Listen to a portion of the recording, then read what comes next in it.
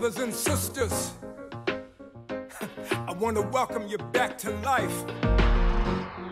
Back to the one that can make your next chapter. Hello, my name is Reverend Terry D. Lee. Today is the 16th day of our Daniel fast. The topic of the day is do not be stubborn, but submit yourself to the Lord. Second Chronicles 30 and 8. This particular scripture was talking about the children of Israel because they had a stubborn king that was keeping them hostage. They were sacrificing idols in the sanctuary. They were selling the pulpit. They were doing all kind of devious things. But then Hezekiah was king. And when Hezekiah came in, he wrote letters and told the people to show up at the church. And when they showed up, Hezekiah prayed for them and asked God to forgive them before their stubbornness. During the process of their praying for them, they were renewed and God restored them back to himself.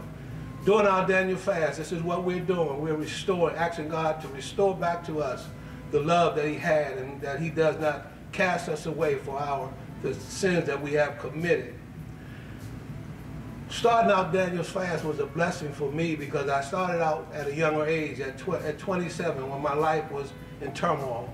And we fasted and we prayed, and my life turned around. And it had been about 15 years since I had fasted because of my, my age, and I, I had children and going through different situations. But thank God for Daniel fast. When it came along, it was an opportunity for me to get back into my fasting. And I realized through my fasting God began to clear my mind so that I could see things right in front of me. If there there's ideas I needed, God would give them to me because my mind was clear of food or anything or substance other than coming into my body that were not really substance that I needed into my body. So during this fast, our daily reading says that, Father, there are times when my need for control causes me to be prideful, arrogant, and downright stubborn. Help me to learn to submit instead of insisting on having my way. I follow you, and you are my good shepherd, and I know I am safe in your care. I'm, one of the things that I realized that even during this fast, that what I've learned, and it was a blessing because my wife has been there for me and, and fasting with me, which is an encouragement. And when we fast together, it strengthens our, our, us by sharing and in, encouraging one another. And my daughters have started fasting, and even one while she was in college fasted. And she called me one day because she was hungry, and she was telling me about the college food. So my, my words to her were to pick up your Bible and begin to read the Bible, because the Bible is spiritual food.